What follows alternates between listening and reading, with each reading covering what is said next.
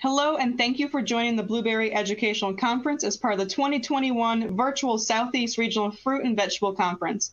I'm Kim Post, a County Ag Agent with the University of Georgia, and I'll be your moderator for this presentation. I'd like to thank Meister Media for sponsoring the 2021 Blueberry Educational Conference. Let's watch the short video provided by Meister Media.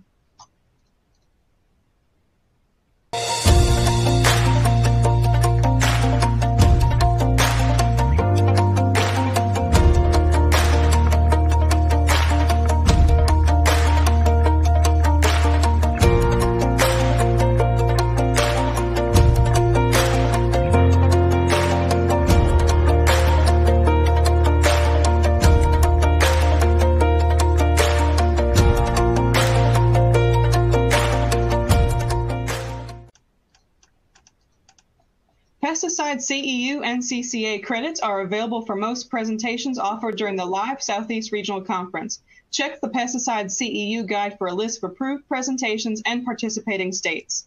The Pesticide CEU Guide is located in the Event Resources tab under the Media Player, and the guide is also available at the Resource Center located on the main menu of the conference platform.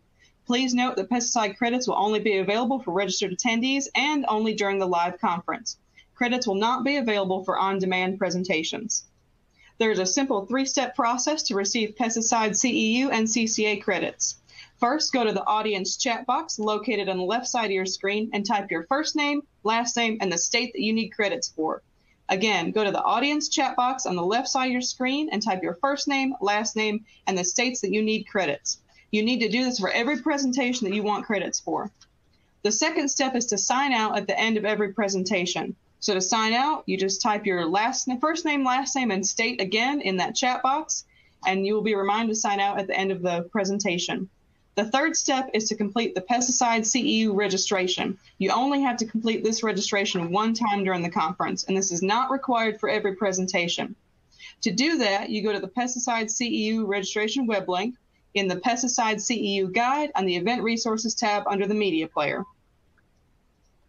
There will be live Q&A for this presentation, so after Mark is completed with his presentation, we will move into that section. Don't forget to thank our 2021 conference sponsors and exhibitors by visiting the virtual trade show and the featured products pavilion. Lastly, don't forget to join us each morning for coffee chats and each evening for networking, and check the conference agenda for details. Now I'd like to introduce Mark Czarnota with the University of Georgia, who presenting about weed control in young blueberries. Take it away, Mark. All right, hopefully you can you hear me fine? Yes, we can. Mm, great. Okay, well, I'll get started then. And I got 30 minutes basically, or 20 minutes and a couple minutes for questions. Is that correct? Yes. Great. All right.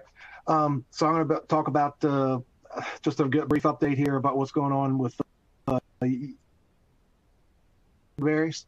And uh, the uh, the biggest thing on probably is what's going on with Surflan. I had to make a bunch of phone calls last month to find out exactly what's going on. But anyway, uh, I just click the slides here to get more kind of move. Okay, it'll work that way too. All right.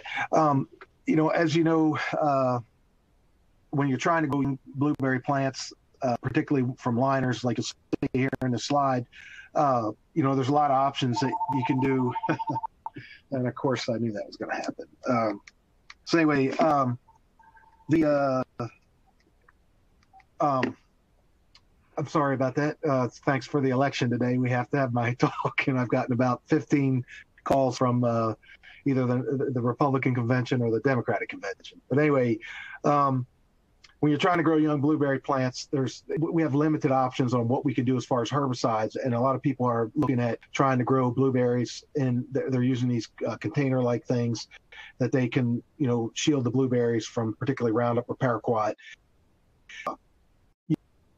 You can up to that with avoiding a lot of problems that you can have from damage, particularly on lung, these young plants with green stems that will be highly injured by glyphosate or you know Roundup or Paraquat, and uh, or even uh, a finale, you know, which is uh, not finale, but glyphosate was sold under a lot of different trade names. You should recognize it from the trade names Cheetah or Reckon, um, uh, or Ignite would be three of the popular names for that.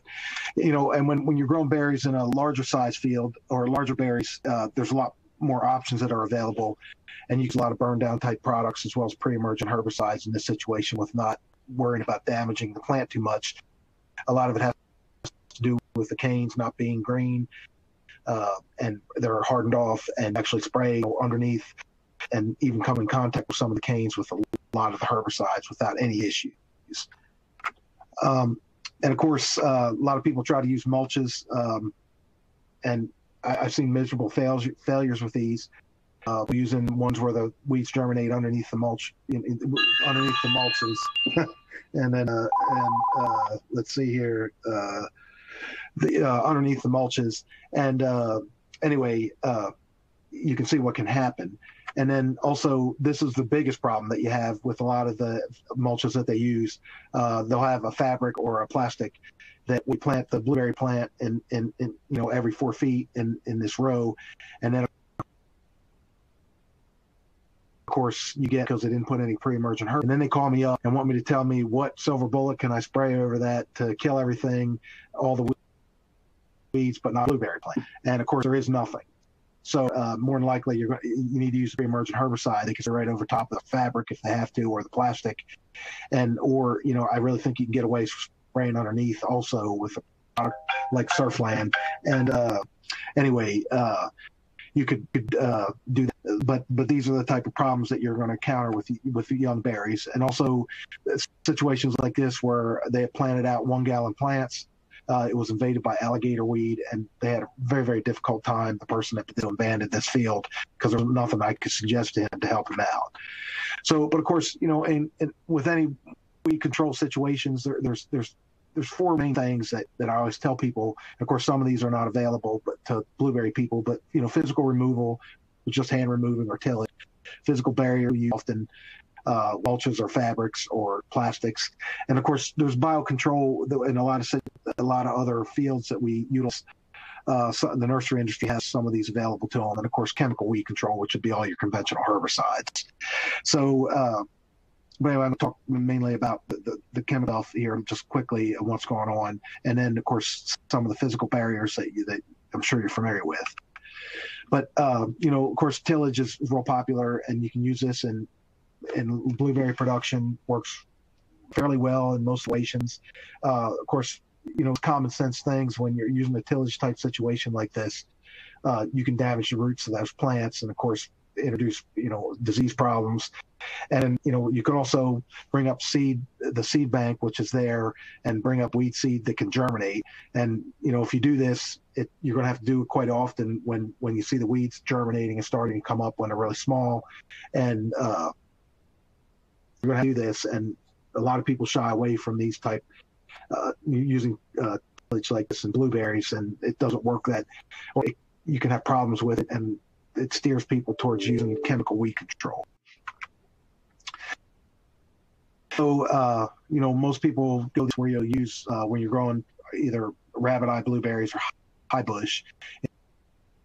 And rabbit eyes, use I'd still use fabrics or a mulch or a plastic mulch like what you're seeing on the left hand side, and that's where you'll you know the, the, this is where they would plant one plants into into this plastic, and they'll uh, they'll usually put a mulch or some type of uh, bark down, till that in, and then plant the blueberries into that. And when you have high bush situation, they'll generally put lots of bark on the ground. They'll elevate the blueberries off the ground, lay about eight to 12 inches of bark to plant into that. So, you know, barrier type thing for far as weed control.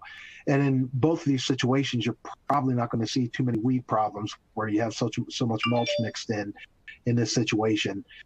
And uh, you know you might get away with a year or two without too many weed problems. But in the in the left eye with uh, rabbit eye type berries, you see, anytime you have soil in the mix, uh, that can lead to weed type issues uh, you know, small uh, weed type problems, and particularly going to be a problem with uh, with with smaller plants that are planted from plugs. So anyway, uh, let me see. Um, back here, oh, went too far. More. There we go. Uh, and you can see there's I see lots of people utilizing this situ- this uh, weed weed control uh, method where they're putting uh, you know cartons around their plants. And I think this is fairly successful. Most people are using it. Mixon is is one of the growers that has several hundred acres. I see in this every time I'm in South Georgia. I seem to see more of these carton type situations where they're putting these down, and it's fine you know, use a pre-emergent or post-emergent herbicide right up next to the plant. You could sp- use a fan spray, spray right up to that container, and you shouldn't have any problems as far as damaging the plant. The plant basically grows out of that container. The container will eventually disintegrate, and you should be good to go. But there are going to be situations where you know you're not going to be able to do this. Uh, you're not, and there's also going to be weeds come in to the you know inside this container. And i can see that happening a lot particularly if you're planting blueberries into row crop type uh, situations where you're going to see a lot of weeds coming through. And again once that starts going on and you have a small two to four inch little pl- blueberry plug you're going to have some problems with with weed control. And you're probably going to want to use some conventional type herbicides.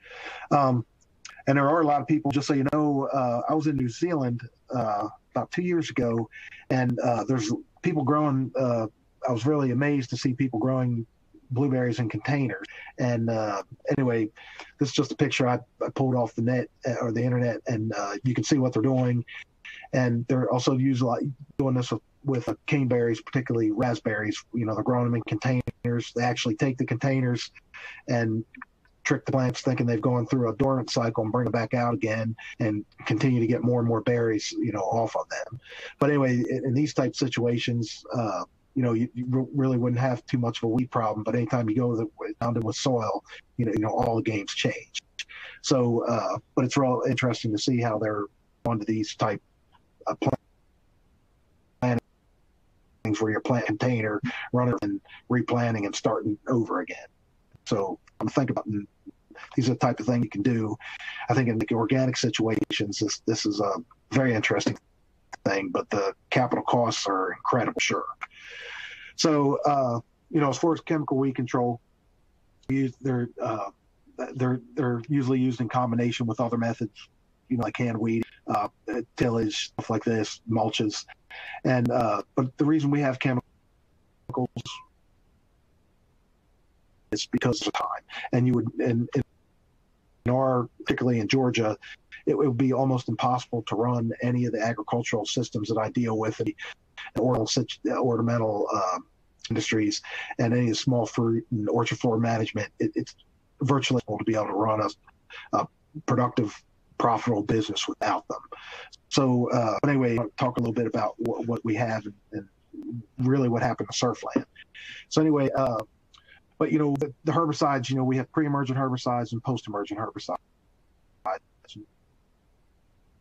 Hopefully, most of you have had to bare soil or mulch before the seeds germinate. You need a rain event in order to activate them and move them into the soil.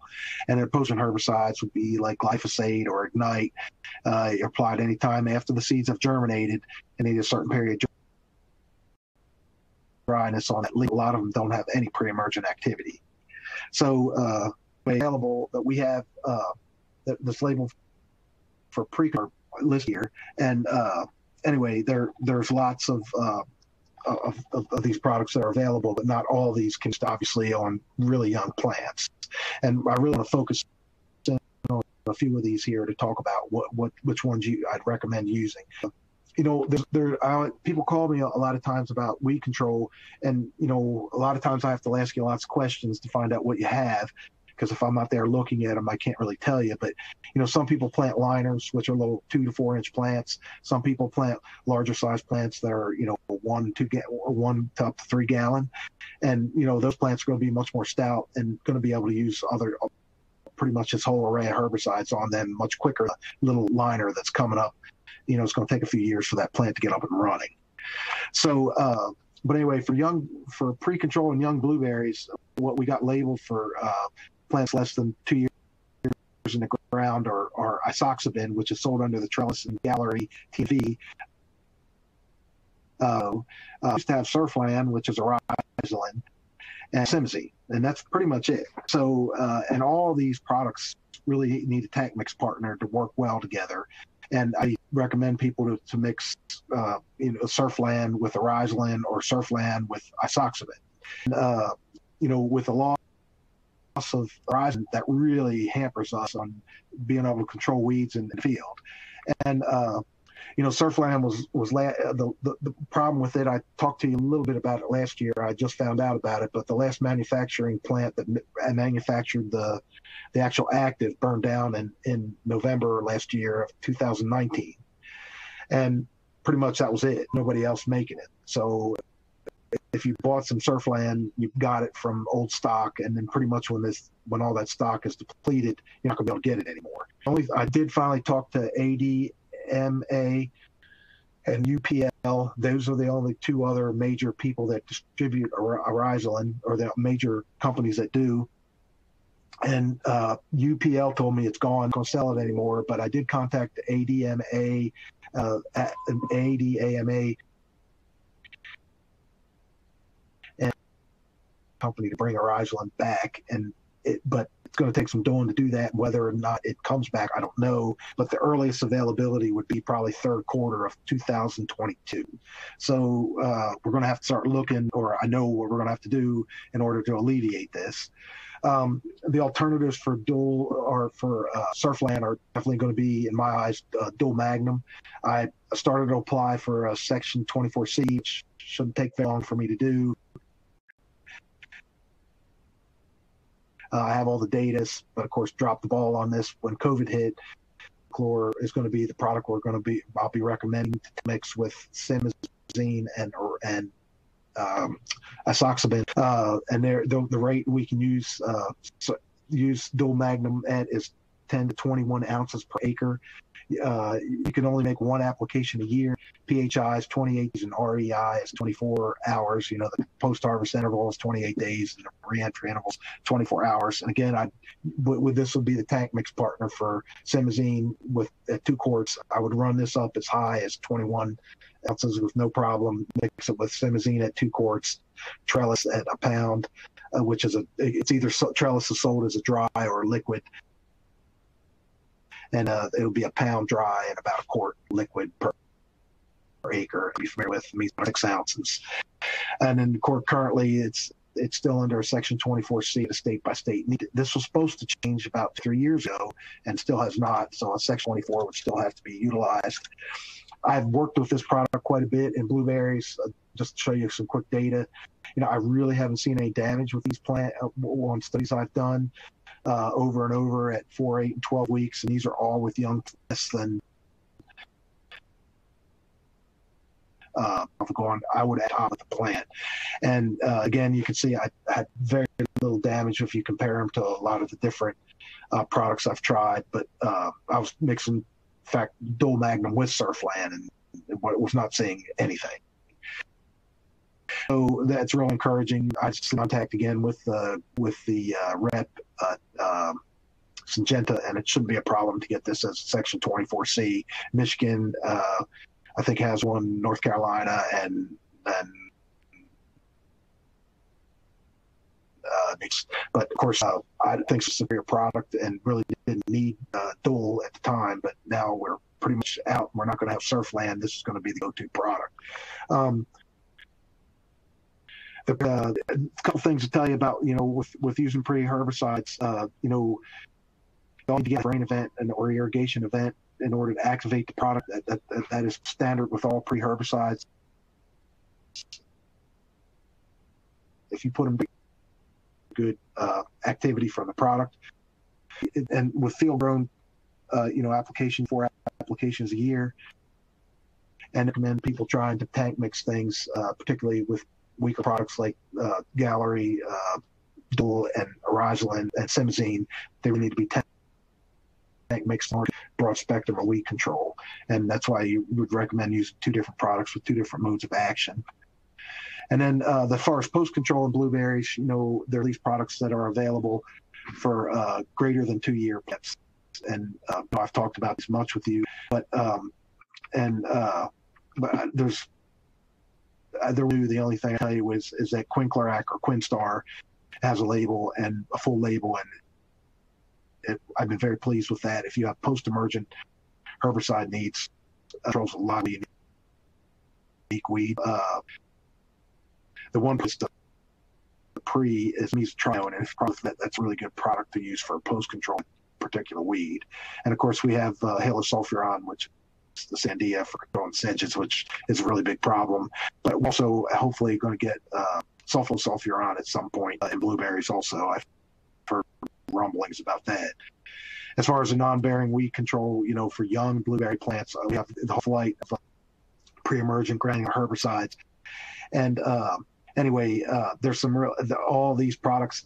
It's real interesting to note a few of these pre-emergent herbicides have Oryzalin in them, like Excel and uh, Route and Regal or Route, and both of those products are going to be actually probably not going to be able to be manufactured anymore if they do not if they cannot get the active for that. Products are really important for the nursery industry I deal with, so to see how this all plays out. But it's good possibility that Route and, and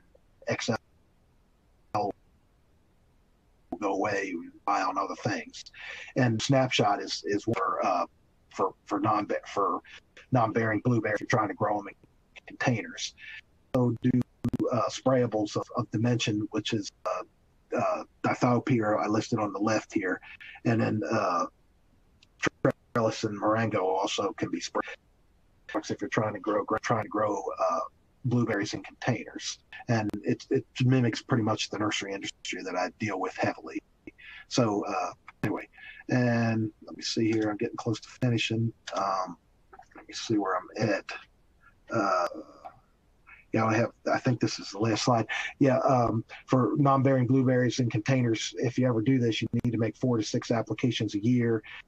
And if you're doing rooted cuttings, real small plants, you try to get into like two-inch cups you to avoid, try to avoid products like Oryzalin and pendimethalin and trifluralin and wait for about a month or two till the plants start to root out until you use those. And that's a really good timing actually to use a product like uh, Dual or Dual Magnum. And uh, th- that Dual used to be actually on a granular herbicide years ago, and they took it off, and we hadn't had it for about 25 years now. But anyway, um, there, the, there's a lot of other products choose from don't have any pretty herbicides like that, or just need to wait about a month until you use a herbicide if you're using a rooted cutting like this, and you have to do hand. And then remember, always remember, you have to get a, uh, overhead irrigation in order for these products to work real well on containers. And there's, I don't, can't think of a situation where that would not happen. And then, uh, and just remember that these pre-herbicides are particularly non-bearings that situations work really well on herbicides on uh, plants that you know haven't germinated.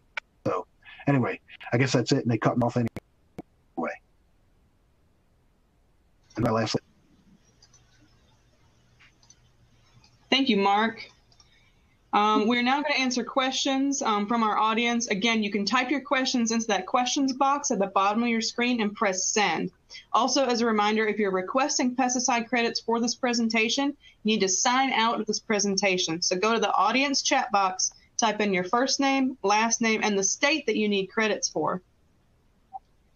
So if we don't have any questions, if Mark, if you wanted to continue a little bit more on any of those slides, feel free to. There is one question in the box that I think you addressed most of already as far as Surflan replacement products, a 24C on dual magnum, and performance of trellis. Did you want to add to that at all? Yeah, I can. Um, uh, yeah, a guy, somebody asked about Surflan replacement, and dual is uh, the 24C, I can get that in like three months. I have to work with uh, with our state agency and the chemical uh, with Syngenta. The big thing is is that all the data I have, you have to have data proving safety, which I got plenty of that, so that shouldn't be a problem.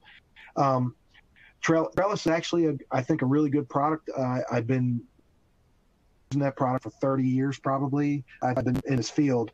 Um, there's a lot of people that are don't really understand that product it's only a, a trellis or oxidant. It's sold under the trade name trellis, and it can be it can be sold in a in a dry liquid formulation.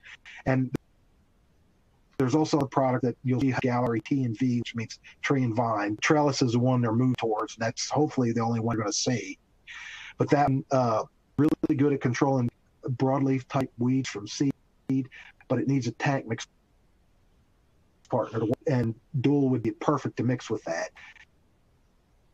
the it's things of the blueberry. Only needed for really young blueberry plants less than two years old. I'd highly recommend it. Uh, it's a little pricey. It's going to cost you uh, about uh, it's about hundred dollars for a pound bottle or a 1.33 pound bottle, which is a pound of active ingredient. If it's uh, you know if it's a 75 DF, and uh, but I don't know uh, the trellis prices varied a little bit. Price has come down because I think the Chinese are making this product too and a knockoff from what I've been seeing. So, uh, but it's really good for young berries. And if you're you if you're banding it on fields, you'll get a three to one ratio. So if you that cost you sixty dollars an acre, you're only going to pay about twenty an acre, and it's worth it for young blueberry plants. But it needs tank mix with a tank mix partner, and Dual would be a perfect product, uh, perfect tank mix partner for it. And uh, North, like I said, I think Michigan, North Carolina, and New Jersey have Section 24Cs already in place, and like I said, I could probably have one in two to three months if uh if if I uh, make sure everything all the everything's all the stars line up properly. Okay. There, oh, there's a few. I think I can scroll down here. Yes, um, um, do you have any experience? Are you, uh, are you just? Hold on, there's another one here. So just to be clear, we are recommending dual and replacing and replacing Surflan. That is correct. Um, and do you have versus granular? Uh, that's a good question. Casoron, it, it works. Uh, we don't use that much here in Georgia. It needs you need to use that when it's less than uh, 70 degrees outside and the soil temperatures are less than or or because of volatility issues. It's a great pre-emergent herbicide. Granular works. Uh, liquid would be, be, preferred. You have to have a rain event after you put it down. It does have some post-emergent weed control. It works really well at controlling Florida betony that with here and and uh, bracket worms, which we can have terrible problems with if you can time it right and get it out between November and February here in Georgia. But if you can use it and you're from a northern states, it's still a great herbicide. Uh, it's an old timey herbicide. It still works good, and uh, I get it and use it. I try it and uh, um, let's see. Uh, do you still like Alion for use in blueberries? Yes, I do. Uh, it's a fabulous herbicide. It's the best pre-emergent herbicide as far as longevity I can think of, and it provides. Uh, the only thing that you'll have problems with Alion is if you have nutsedge problems. You're going to have to have. Uh, you're going to have to deal with the nutsedge, and that's a that in that situation I would recommend a product like Zeus. Um, and you apply post-emergence anytime uh, post emergence can only be applied really when when there's uh, when when you have uh, what do I want to say when there's actually really there's no uh, weeds growing, so it's just during active weed growth. So and they work on controlling weeds that are actually growing now. Um, you can spray glyphosate on dormant turf grass as long as it's green, but grass and they go dormant and, and Bahia, they really don't in the southeast at all and uh, Casoron liquid is supposedly being taken off the market. I don't know that Casoron's come. Uh, the liquid has come and gone off the market. It's mainly because people aren't buying it. And uh, anyway, I don't know if it's going to eventually disappear or not. But there's a couple good uses for Casoron for controlling, uh, particularly horsetails out in, in this. It might not disappear as a granular, but it's all going to be based on if they sell enough product to justify it. So anyway, I think I answered everyone's questions as quickly as I could. But if there's any other ones, uh, they can ask me, and uh, they can always email me, uh, and I'd be try I'd be happy to try to help them out. All right. If there's no other questions, um, we are at 4:30. So unless I see anything pop up real quick, uh, thank you, Mark, for your time and your expertise. To all the attendees, thank you for attending this presentation, and don't forget to sign out um, in order to get your pesticide credit. So do that in audience chat box, first name, last name, and your state. All educational presentations and the virtual trade show will be available for you to access until April 30th, 2021. So you can come back if you missed a presentation or you just want to rewatch one, or you need to search for a service or product provider in the virtual trade show. So if there's nothing further from you, Mark, and no more, oh, there is another question. Would you feel safe with Alion on unbearing bushes? Or non-bearing bushes? Um, non-bearing bushes. You mean so? He's probably meaning so they're talking about Alion on probably young berries. The recommendation, I think, the plants have to be in the ground two years. But I've done lots of work with Alion and uh, seen minimal damage on really young plants. I wouldn't use it on plants probably less than 18 inches tall if they're non-bearing. Uh, just because I have seen some leaf damage on it, and it is a it, it kind of actually is a herbicide. It's kind of like the product uh, I'm talking about. It's similar mode action. Um, but anyway, I would probably not use it on plants less than 18 inches. And uh, you can be pretty sloppy with Alion. I've tried it uh, on lots of different plant material. Uh, you know, particularly in the nursery industry, the only thing I can really damage up is uh, liriope and mondo grass and whatnot. If you're those, if you know anything about ornamentals, but uh, I just wouldn't use it on really young plants. I'd avoid that. Wait till the plants get up and going, and that's why I had this talk today. I guess that you need you really need these herbicides. Surflan was a very useful tool for us. You know, it's not that great of a herbicide Surflan is, but when you tank mix it with simazine, what I try to tell people it brings to the table is safety. And it's not so much if it works really well, it's it's not going to hurt blueberry plants in that first you know year or two when they're sensitive to damage by you know different pesticides, and you're trying to get that with limiting, you know, and, and Surflan and, and for example example, send a lot of the weed competition, provide the most seed that you can. And once those plants get up over 10, 18 to 24 inches tall, switch over to Diuron, Alion, Zeus products I would jump to immediately. And uh, or and Chateau, sorry, forgot that one. Those four give you really good different modes of action and provide really good weed control and are fairly safe on plants when used properly. All right, and then you just have a, a request for your email address, Mark. Okay, uh, sure. Uh, do we type it or it's just mac30 at uga.edu? Did you get that? Mac tool M A C 30 30 at and then UGA for University of Georgia and then dot .edu for education if you need it. All right. And then one more question: With all the new, safer products, would you still use Velpar in late winter? Um, Velpar depends where you're at and how much soil organic matter you have. Uh, I really, I don't even trial Velpar anymore. Uh, it just we get too many damage issues because of low organic matter. It depends where you're at. If some in North Carolina people love it, if you use it and like it and it works well, hey man, have at it. Uh, it's still a great herbicide, works pretty well, um, but the problem is is damage to your blueberry plants. You got to familiar with that product, but if you're using it with it, it'd be fine. Um, but uh, I think Alion's a far superior product to that that that that to Velpar as a pre-emergent herbicide.